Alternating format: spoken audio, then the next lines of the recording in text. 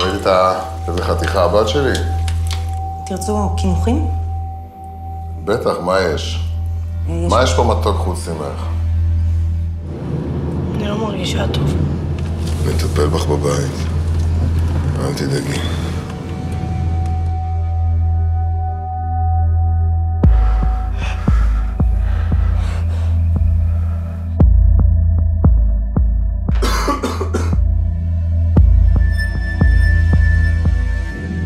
לשמוע בזמן האחרון.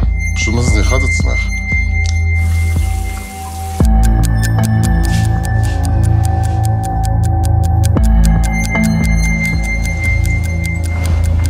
מי את לעזאזל שתנהלי לי פה את העניינים?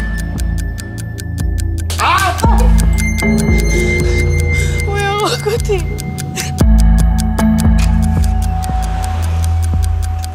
באתי לקחת הביתה.